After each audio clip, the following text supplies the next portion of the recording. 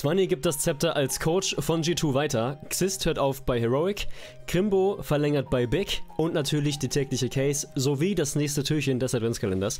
Damit herzlich willkommen bei einer weiteren Folge von Case Kaffee und natürlich einen wunderschönen guten Morgen an diesem fantastischen Donnerstag. Mit dem Beginn der Blast World Finals wurden auch die letzten Tage einiger Coaches angebrochen. Allen voran wird dieses Event das letzte sein für Swanny, der nach diesem Event nicht mehr der Coach von G2 sein wird. Er selbst gibt an, dass der Job einfach stark strapazierend ist Unabhängig davon, ob Swanny weiter in der Profiszene bleiben wird oder nicht, hat er sich in die Geschichte eingeschrieben als erster Deutscher, der die legendäre IEM Cologne gewonnen hat. Sein Nachfolger wurde auch schon angekündigt, es ist dabei niemand geringeres als Tars von dem legendären Virtus Pro. Das bestand damals aus Tars, Neo, Snacks, Bialy und Pascha Biceps und war alles andere als unerfolgreich. Der Major-Sieg in Katowice im Jahre 2014, Platzierungen unter den Top 4 bei der GMAC 2014, Katowice und Cologne 2015, Cologne 2016 und dem Major in Krakau 2017.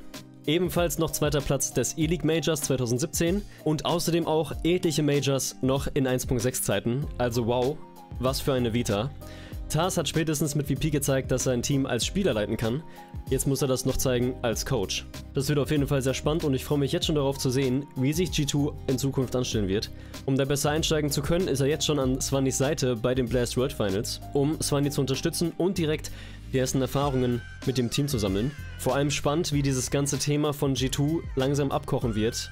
Gerade mit diesem ganzen Drama um JKS. Abseits davon aber haben wir jetzt drei des alten alten VPs, also der Golden Five, aktiv als Coaches. Tars für G2, Neo für Face und Cuban für Ends. Stellt sich natürlich die Frage, Pascha, wann kommst du? Als zweites haben wir noch Xist, der sich als Coach von Heroic verabschieden wird.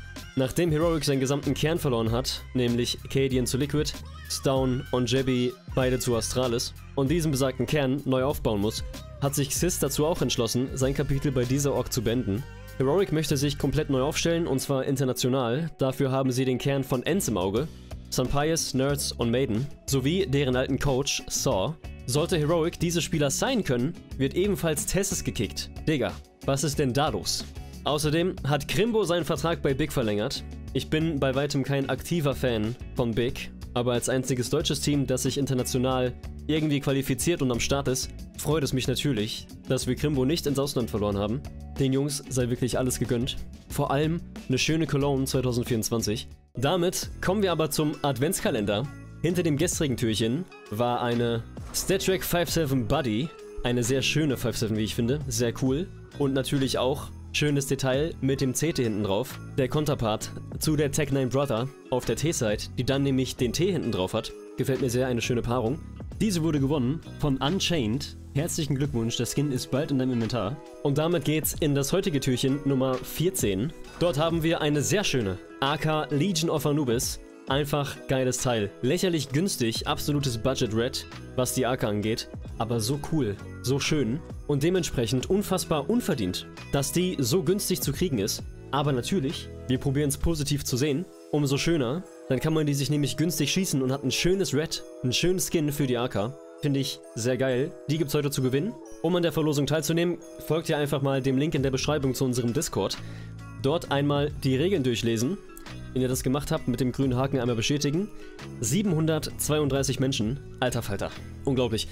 Wenn ihr das gemacht habt, findet ihr den Channel Weihnachtsfest. Dort findet ihr das Giveaway und dann einfach über den Button einmal klicken, habt ihr teilgenommen. Dementsprechend sehr simpel und damit habt ihr dann die Chance, diese wunderschöne AK Legion of Anubis zu gewinnen. Viel Glück dabei und damit gehen wir jetzt rein in die tägliche Case. Heute geht es rein in eine schöne Fracture Case. Ist schon eine Weile her, dass wir die geöffnet haben und hierin enthalten ist einmal die Tech9 Brother, die ich gerade angesprochen habe, das Gegenstück zu der 5-7 Buddy.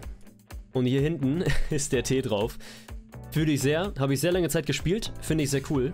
Ansonsten ebenfalls die Glock Vogue, war ebenfalls auch schon bei uns im Adventskalender drin.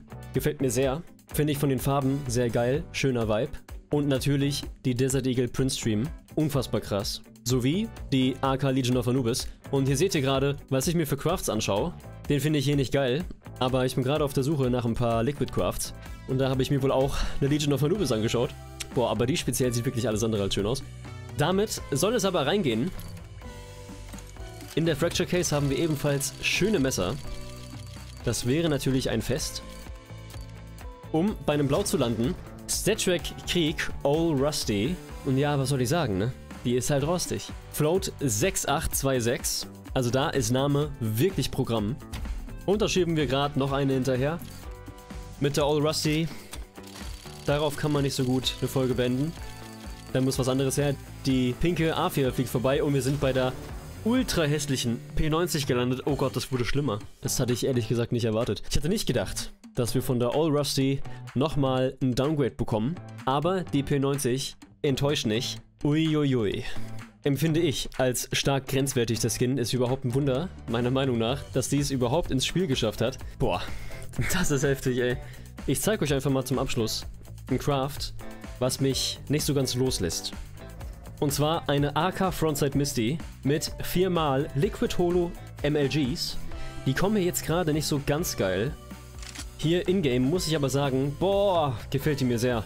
Und dabei bin ich noch nicht mal wirklich ein Fan von der Frontside Misty. Aber ich finde hier die Sticker unfassbar gut. Würde auch nur, jetzt wird es nämlich problematisch, 130 Dollar kosten. Und das ist das, was mich ein bisschen abschreckt. Aber gefällt mir sehr. Könnt ihr dazu gerne mal eure Meinung in die Kommentare schreiben, was ihr von dem Craft haltet. Auch gerne bezüglich des Preises. Das ist nämlich das, was mich noch ein bisschen zurückschrecken lässt. Aber ich habe so das Gefühl, noch eine Woche oder zu Weihnachten und ich werde in den sauren Apfel beißen, sofern sie dann noch da ist. Aber, boah, stark. Damit aber verabschiede ich mich von der heutigen Episode von Case Kaffee.